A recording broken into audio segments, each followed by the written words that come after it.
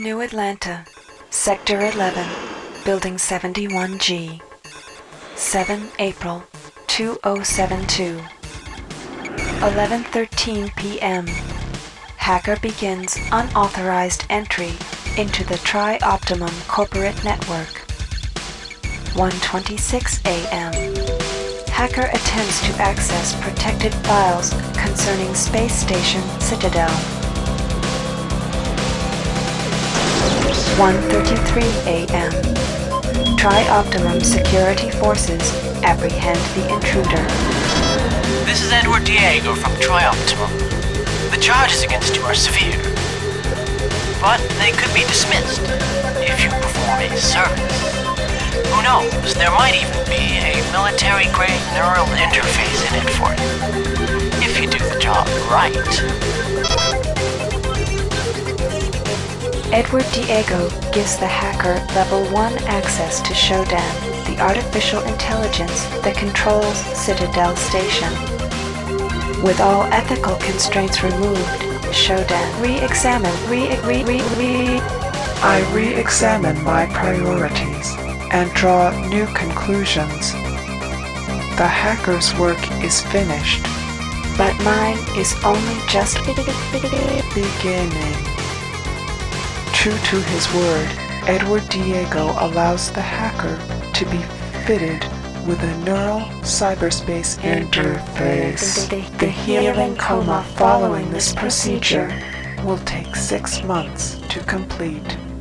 Edward Diego is deleting all files concerning these events.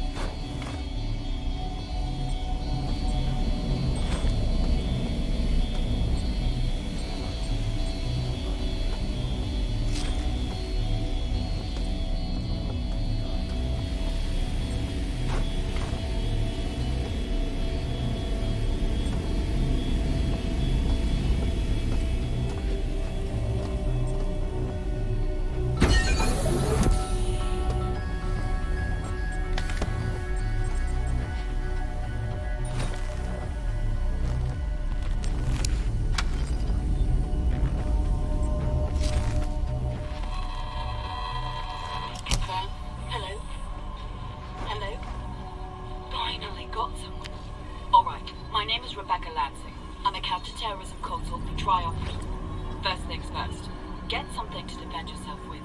You're gonna need it. Things on Citadel Station are bad, very bad. The comms are dead and there is strong evidence of a biological contamination on board.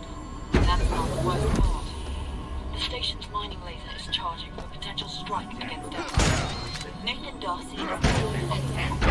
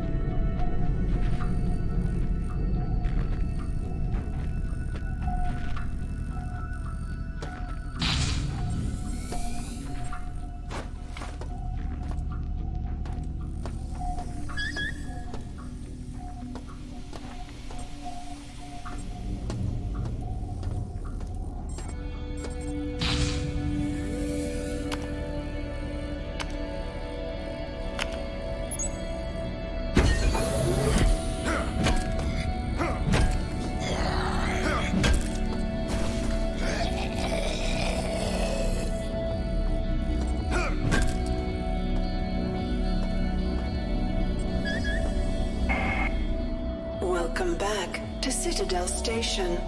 We hope your somnolent healing stage went well. Today is the sixth day of November, year 2072. You are currently in the healing suites, located on the first level. Level 2 contains the research laboratories. 3 houses the Department of Maintenance. And the storage cells are on level 4. The flight deck is on level 5. Level 6 holds crew facilities and executive suites. And Level 7 is system engineering. Level 8 houses the Department of Security. The bridge is located on Level 9, and energy systems on Level R. All levels can be accessed by the elevator in, in, in Alpha Quadrant. We hope you have a pleasant stay on Citadel Station.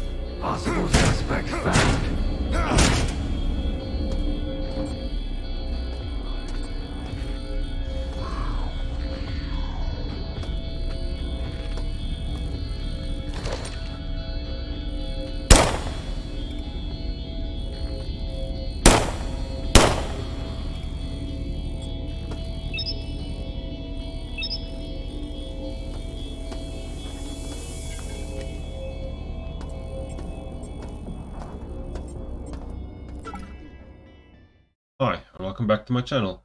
Today we're looking at System Shock. Oh man, this brings back memories. It was the year 1995 and I just got my first PC. Pentium 100 with 32 megs of RAM, 3GB hard drive, and a 2MB Trident Microsystems VGA card, running Windows 95. I spent all my time playing games and learning about PCs. I spent my days playing Doom, Heretic, Descent, and of course System Shock. Such fond memories of struggling with my Sound Blaster and getting games to work. I was really surprised to see that a System Shock and System Shock 2 remake was being planned. This is the demo and it just works out of the box. I can't say if the final release will be the same, but let's hope so. That being said, the remake looks great and the improvements feel good, but it will be extremely hard to live up to the nostalgia of the original. It feels a bit dated in both combat system as well as graphic design, unless that is what the developers went for, and not just a quick cash grab.